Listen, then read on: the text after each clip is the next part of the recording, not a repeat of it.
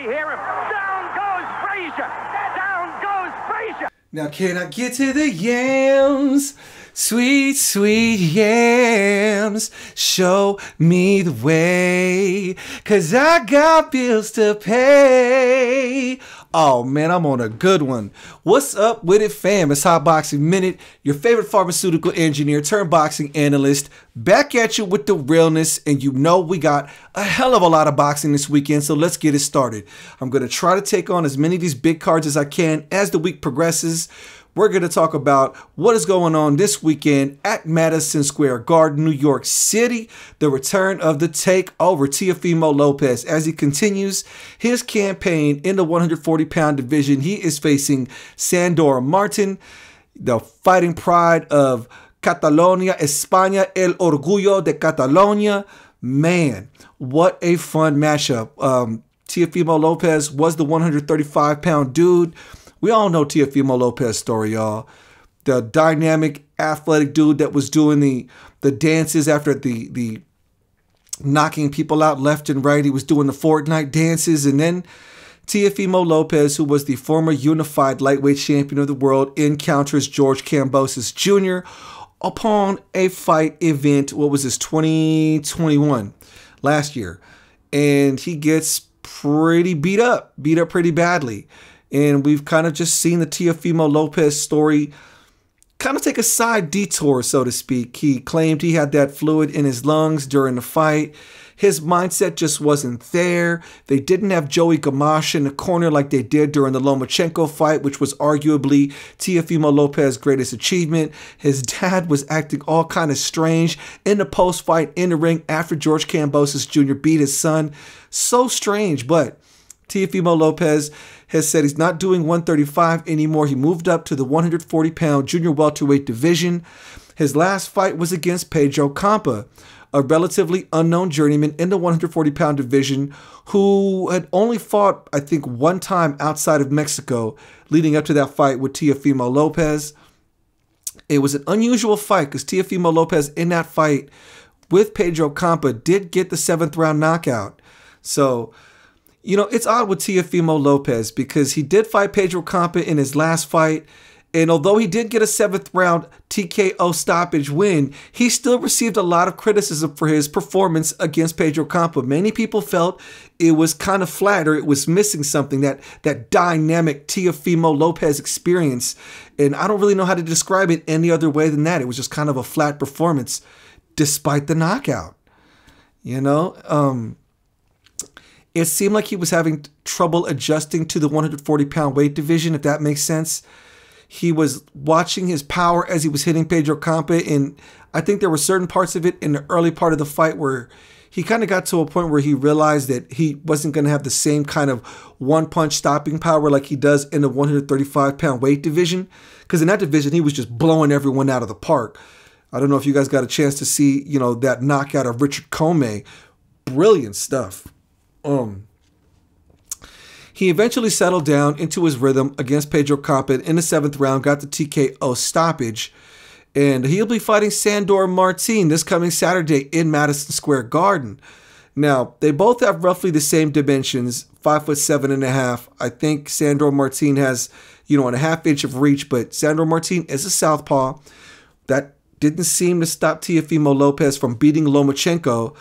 But yeah, Sandor Martin's over record Sandor Martin's overall record is 40 and 2 with 13 knockouts. His last fight was against Jose Felix Jr. out there in Spain somewhere, Barcelona if I'm not mistaken. But before that, before that, Sandor Martin's crowning achievement now, Sandor Martin, El Orgullo de Catalonia, España, the fighting pride of Spain. He's going to be fighting Teofimo Lopez, and everybody knows Sandor Martin from beating the four division champion Mikey Garcia out there in Fresno last year. It was a crazy sight to witness. Sandor Martin clearly is not a person you want to underestimate in the ring. So hopefully Teofimo Lopez is not taking this dude, you know, for granted at all they had a face to face today in New York City, and it was kind of strange to say the least. how do I say it after that face to face with Sandor Martin? It looked like Teofimo Lopez didn't doesn't have Sandor Martin as shook as he would like to have him. Uh, Sandor Martin looked very, very focused. And I got to say this about Teofimo Lopez.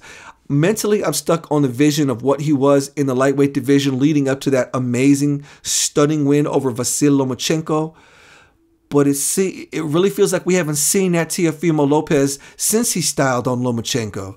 He got that loss to George Kambosos Jr., and he's acted a bit aloof in recent press interviews. He still hasn't taken accountability for that loss to George Kambosos Jr., and apparently, they're not taking any outside trainer assistance for this fight with Sandor Martin. Now, Sandor Martin is already established. He is not here for play, he is coming to win. Sandor Martin is a southpaw. He's a boxer, boxer, very textbook, great footwork. He moves in, he moves out, he throws combinations in bunches. I would say, as far as his ability to throw combinations, it might be just as fast, if not faster than Teofimo Lopez, but he doesn't quite have that same snappy pop that Teofimo Lopez does. He's definitely a very traditional southpaw boxer, boxer going up against Teofimo Lopez, who was kind of a freakishly athletic puncher with boxer features. Uh, Teofimo Lopez is currently ranked number one in the WBO rankings. Sandor Martinez ranked number six in the WBO rankings. They are both competing for that mandatory title shot against Josh Taylor, who holds the WBO belt. Josh Taylor has pretty much vacated all of his other belts. I don't think there is an IBF 140 champion. The other two champions are Alberto Puello with the WBA and the WBC, recently acquired by Regis Prograis. Uh, Josh Taylor does have the ring belt, so he has the ring in the WBO. How he fares against the winner of this fight, Teofimo Lopez or Sandor Martin, that depends on the performance of Teofimo and Sandor, and that also depends on how Josh Taylor looks against Jake Catterall. Interesting movements ebbing and flowing in the junior welterweight 140 pound division. Um, you know, Sandor Martin he got that 10 round decision win against Mikey Garcia. He did lose in 2017 to Anthony Yigit, the dude that got that unusual loss to, you know, the new face of Mayweather boxing, Rolly Romero. Uh, as far as I know, Rolly Romero is still with Mayweather Promotions. I don't know, but Tank made it official that he left Mayweather Promotions. But that's a whole different video for another day. Anyways, he lost in 2017 to Anthony Yigit. Sandor Martin has gotten significantly better since that loss. But going into this fight, you know, it is what it is. We've got Teofimo Lopez returning in the 140 pound weight division to face Sandor Martin, the unknown Spaniard that defeated the four division champion Mikey Garcia. Boxing community, how do you think Teofimo Lopez does this weekend in Madison Square Garden against Sandor Martin, El Orgullo de Catalonia, España? Anyways, let me know in the comments section, y'all. This is Hot Boxing Minute. Y'all already know. Um, the other co-main event on that fight card that's got me intrigued. There's a bunch of prospects fighting on that fight card too, and I don't really want to get too much into the prospects. No offense, but I'm pretty sure they're just going to mow down their competition. This isn't even about that. Um, the co-main event: Jared Anderson and Jerry Forrest. Oh, Jared Anderson. Many people are picking him to be the next great heavyweight American prospect to become a champion, hopefully, Obviously, I'm going to be biased towards my guy from my gym, Stephen Jabari Shaw. Uh, but this is about Jared Anderson. We're not going to take away from his position right now. Jared Anderson is 12 and 0. All 12 of his wins by way of knockout, which makes a lot of sense. When you're 12 and 0 in your career, you should be getting a bunch of knockouts and really just making a name for yourself, fighting nondescript dudes. His last two wins came against Alexander Teslenko and Miljan Rovcanin. I can't even pronounce those names, but he did get the knockout victory and he looked rather splendid doing so. Jared Anderson is a young, spry 23 years old. He's six foot four with a 78 and a half inch reach. What can you say about Jared Anderson? He's got power in both hands. He's got very great defense. His defense is interesting because he'll stand right in front of you, catch all your shots, catch and then shoot return fire. And he has you know, antifreeze moving through his veins. Jared Anderson is not one to underestimate. That dude is quite a fun prospect to watch. He was a sparring partner for Tyson Fury in the build-up to, I believe, the Dillian Whyte fight. And Tyson Fury had nothing but great things to say about Jared Anderson. He said he's likely going to be the next great American heavyweight boxer. His opponent is Jerry Forrest, a very, very, very seasoned journeyman.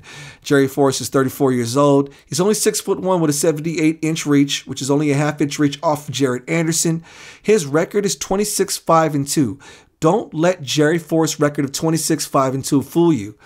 Now, a lot of people who know Jared Anderson may not be familiar with Jerry Forrest, his opponent, but Jerry Forrest has been a staple in the American heavyweight boxing scene for a while, and he has fought some of the best names in the heavyweight division, including Carlos Takam, Kubrat Pulev, Michael Hunter twice, and he even got a draw with Zhilei Zhang, Big Bang. So don't underestimate Jerry Forrest. Um, Jerry Forrest is a southpaw. He is a crafty southpaw. He is a stubborn southpaw. He definitely has enough tools to really, really test Jared Anderson. And this is a fun test for Jared Anderson. You've got top rank kind of building Jared Anderson and Stephen Shaw as the two big potential American heavyweight next elite stars, hopefully. Um, you know, Stephen Shaw just got done beating Rydell Booker, a veteran who's like in his 40s, so it wasn't really the best of looks, but he did get the win via decision. His next opponent is going to be Guido Vianello, the former Olympic Ital- Italian Olympian who is also undefeated as a heavyweight. And then you've got Jared Anderson fighting Jerry Forrest. So roughly, their level of competition is right about where it should be. Um, Jerry Forrest his five losses come against the best of the best. Like I said, he had a losses all by decision. He hasn't been knocked out, mind you. Michael Hunter, Jermaine Franklin, Carlos Takam, Kubrat Pulev, and he had a draw in a rematch with Michael Hunter and a draw against Zhilei Zhang, aka Big Bang. And he got knocked down quite a few times in that fight against Zhilei Zhang. He is definitely got some dog in him. Jerry Forrest is not going to lie down. If he does get knocked down, he will get back up. Jerry Forrest, for all of his flaws, I think is a great solid fighter and a great solid test for Jared Anderson. And and uh, Jerry Forrest is not coming to lie down. He is not going to take. He's not here to survive. He is going to fight to try to win. So this is going to be a great matchup for Jared Anderson. As much as I like Jerry Forrest and his awkward kind of southpaw mobility, I'm going to go with Jared Anderson to win. I'm going to say by late stoppage. I think he needs to get that late stoppage in order to make the kind of statement he wants to make. No offense to the cans. I don't want to say cans. To the competition he's fought thus far in his career, but it definitely knocking out people that are far beneath your skill set does not show what you're really capable of. But him knocking out somebody like Jerry Forrest would be a huge statement to the entire heavyweight division. And I think Jared Anderson will get the stoppage late in the fight, or it will go to a decision a wide unanimous decision in favor of Jerry Forrest. Anyways, boxing community. How do you feel about Jerry Forrest? How do I state this? Okay we got Jared Anderson, aka Big Baby. Many people are touting him as the next great American heavyweight fighter. He's going to be facing veteran Jerry Forrest this weekend in the co-main event to the Teofimo Lopez Sandor Martin fight out there at Madison Square Garden. Boxing community, how do you think Big Baby Jared Anderson does against the veteran Jerry Forrest? Let me know in the comment section, y'all. Let's chop this up. Leave that comment. Hit that like button if you haven't already done so. This is Hot Boxing Minute, the future of boxing analysis on YouTube and TikTok. Peace.